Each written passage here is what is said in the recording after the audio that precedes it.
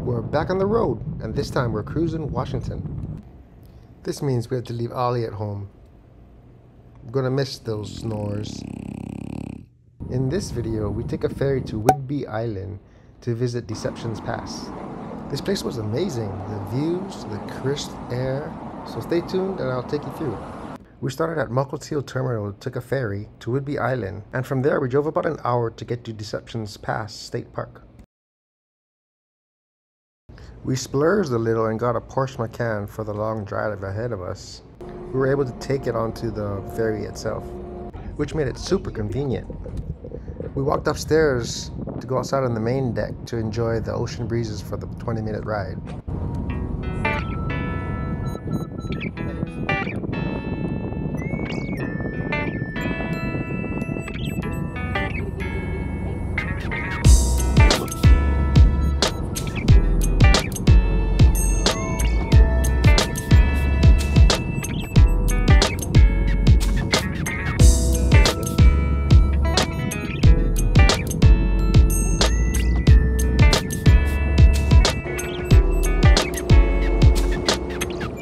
Back on the road headed for Deceptions Pass.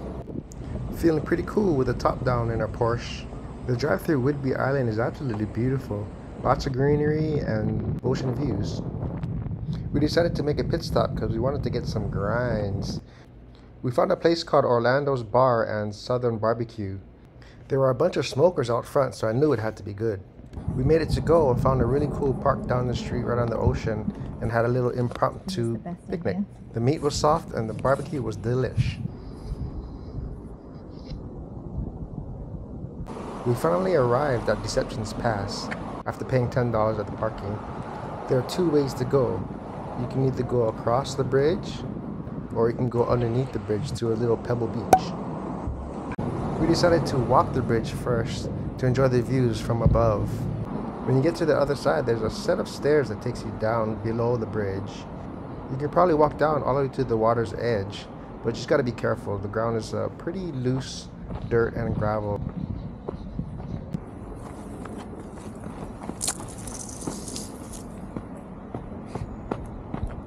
Here's a couple panoramic shots of each other. Just a little tip. If you go this way, you can park for free, which we just found out. This is the paid parking lot for all you suckers, like us. This is on the way back. This view is inland on the opposite side of the bridge. Just know that you're inches from the traffic, so be careful. So now we're back to where we started. This is the bottom route to get to the Pebble Beach.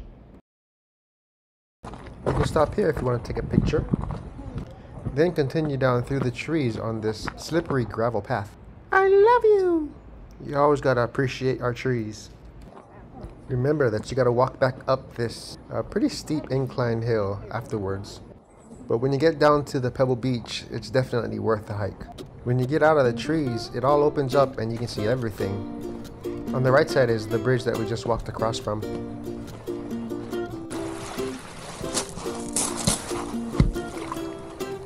Oh, it's pretty cold.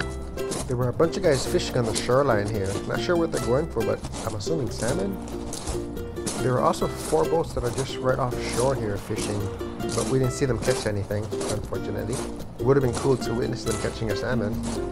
Well, thanks for watching our trip to Deceptions Pass. Now, after this, we're gonna drive up to uh, Lake Stevens where we have a lake house. Beautiful lake house. Oh, nice! So stay tuned for that one. Don't forget to leave a like, subscribe if you can. Aloha and hui hou.